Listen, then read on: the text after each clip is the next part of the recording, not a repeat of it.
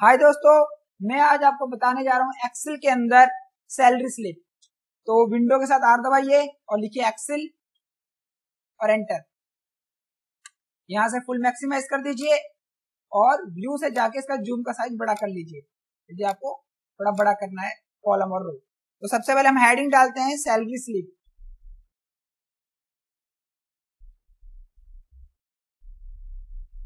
तो सबसे पहले डेटा क्रिएट करेंगे दोस्तों नेम बेसिक सैलरी। उसके बाद दोस्तों, house rent allowance.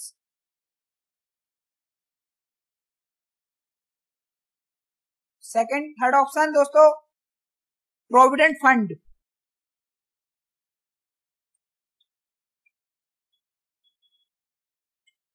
Fourth option दोस्तों, ESI employee service insurance.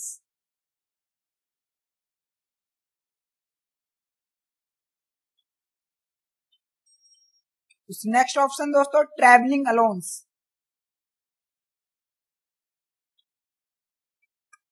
fourth option next option दोस्तों डेली अलाउंस नेक्स्ट ऑप्शन दोस्तों ग्रोस सैलरी नेक्स्ट ऑप्शन दोस्तों नेट सैलरी और next option total salary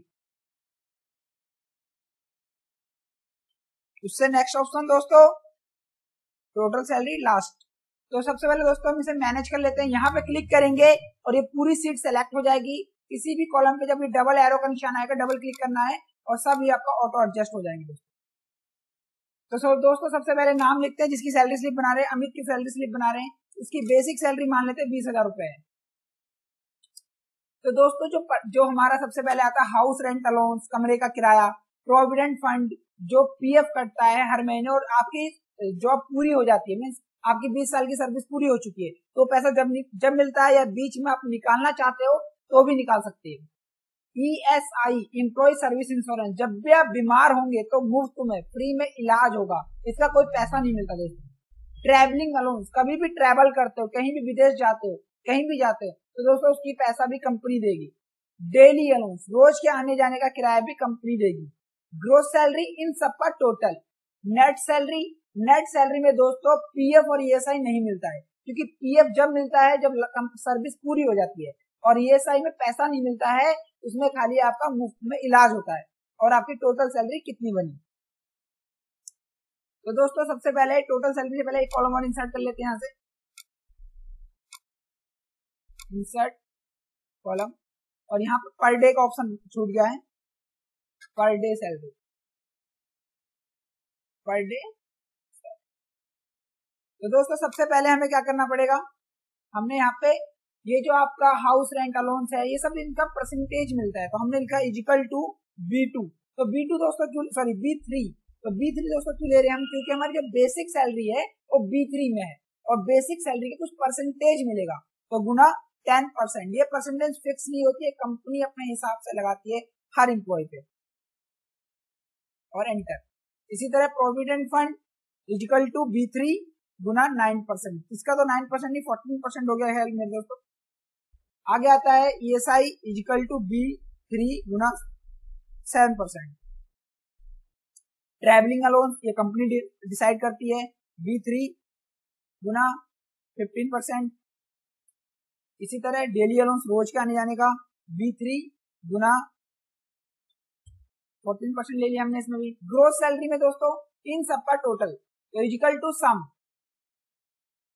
bracket कहाँ से जोड़ना है दोस्तों हमारा? बी थ्री फ़र्स्ट कॉलम में हमारे बी थ्री सिर्फ़ के साथ सेमी कॉलम कहाँ तक जोड़ना है? हमें जोड़ना है डेली अलाउंस तक। तो डेली अलाउंस है जी थ्री में। ब्रैकेट बंद और एंटर अब नेट सैलरी में, क्योंकि हमें पीएफ और ईएसआई नहीं मिलेगा तो इसे माइनस कर देंगे net salary is equal to H three क्योंकि हमारी ग्रोथ सैलरी एच थ्री में आ रही है दोस्तों। H three minus bracket D three plus E three तो दोस्तों बी थ्री और ई थ्री क्यों लिया हमने? क्योंकि जो हमारे डी थ्री में है, वो है हमारा प्रोविडेंट फंड और जो ई e थ्री में है, उसमें है ई एस आई और उसको हम एंटर कर देंगे। ब्रैकेट बंद और एंटर तो हमारा जो नेट सैलरी है वो सत्ताईस हज़ार आठ सौ आ गया। अब पर डे सैलरी मीन्स एक दिन की क्या सैलरी है इसकी? तो इजिकल टू आई थ्री क्योंकि आई थ्री में नेट सैलरी निकल के आ रही है तो is equal to I three और डिवाइड थर्टी डिवाइड थर्टी क्यों ले रहे दोस्तों? क्योंकि एक महीने में तीस दिन होता है। तो नौ सौ छब्बीस रुपए छियासठ पैसे, अब इसमें दसंबर बहुत बार आ रहा है तो यहाँ से कम कर लो। अब आता है टोटल सैलरी मान लेते कोई बंदा बीस दिन ही काम करता है तो इजिकल टू सैलरी क्या होगी is equal to J two is equal to आपकी एक दिन की सैलरी एक दिन जे टू और multiply sorry J three multiply by मान लो ट्वेंटी डेज़ काम कर रहा तो ट्वेंटी डेज़ तो उसकी सैलरी होगी अठारह हज़ार पाँच सौ। यदि पूरे तीस दिन काम करता है तो थर्टी डेज़ तो दोस्तों, ये जो सैलरी स्लिप मैंने बनाया, बहुत ही जर्नल और सिंपल सैलरी स्लिप है, जो कि बिल्कुल मैन्युअली ऑफ़िस वर्क में यूज़ होता है। सैलरी स्लिप का आपने जो फॉर्मेट देखा होगा अलग अलग तरीके देखा होगा अलग अलग टाइप का तो दोस्तों हर कंपनी अपनी सैलरी स्लिप एक अलग तरह से बनाती है। दोस्तों तो दोस्तों, यदि आपको कुछ भी इसमें क्वारी है, कुछ भी है तो आप कमेंट के थ्रू मुझसे पूछ सकते हैं। उसका मैं जवाब कमेंट में दे दूँगा। हमारे चैनल को सपोर्ट करने के लिए तो दोस्तों, इस वीडियो को शेयर करें और हमारे चैनल को सब्सक्राइब करें आगे ही इस तरह की वीडियो देखने के लिए। अब thanks for watching good day